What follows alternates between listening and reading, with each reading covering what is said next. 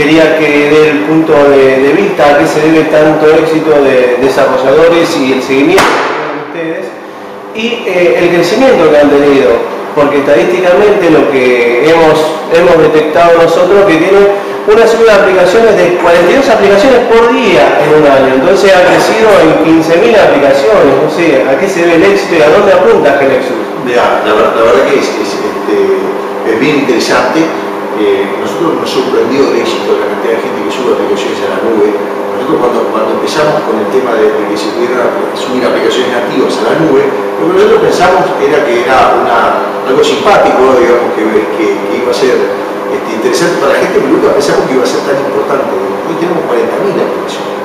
Es una cosa increíble. Y de ellas, este, hoy contaba en la charla de hoy que de esas 40.000 subieron 600.000 versiones. Es que en realidad 20 y pico cada una. Es decir, que tuvo, muchas iteraciones cada una de esas aplicaciones. Sí, se ha multiplicado. ¿Y a, qué se debe el apoyo a Genexus, digamos? Bueno, yo creo que lo que está pasando ahora es que las aplicaciones son cada vez más fáciles de usar y son cada vez más difíciles de programar. Eso, es algo que el, común de la gente no tiene claro. El, común de la gente lo que piensa es, si son fáciles de usar, deben ser muy fáciles de programar. Y lo que está pasando es el efecto contrario. Cuanto, más fácil de usar más difíciles son por detrás, mucho más difíciles son de programar. Y entonces hay que buscar algún tipo de herramientas, algo para la gente que, que pueda hacer eso, que cada vez más complejo, hacer un poco más fácil y en eso se basa el Eso ayuda mucho, digamos, en el, digamos, al uso diario.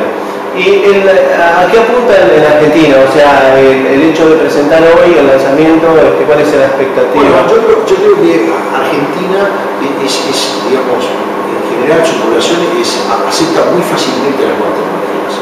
Es uno de los países donde yo creo que hay muchas oportunidades, sobre todo en aplicaciones para tabletas y para teléfonos. Eh, la cantidad de gente que usa celulares y tabletas es enorme, va a ser cada vez más y ahí me parece que hay una cantidad enorme de oportunidades para desarrollar aplicaciones. Sí, de hecho en Sudamérica es uno de los que más eh, teléfonos tienen por, cantidad de habitantes. Exacto, exacto. No, sé el cálculo, pero estoy seguro hasta debe tener más teléfonos que habitantes. creo que sí, creo, creo que será 3 a 1. Sí, sí, es eso. ¿Y expectativa de la empresa?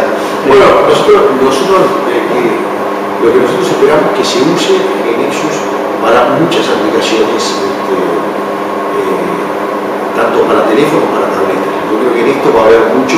Yo creo, mi expectativa, mi expectativa es que va a haber muchas aplicaciones de empresas, bancos que tengan aplicaciones Nexus, este, supermercados, etc.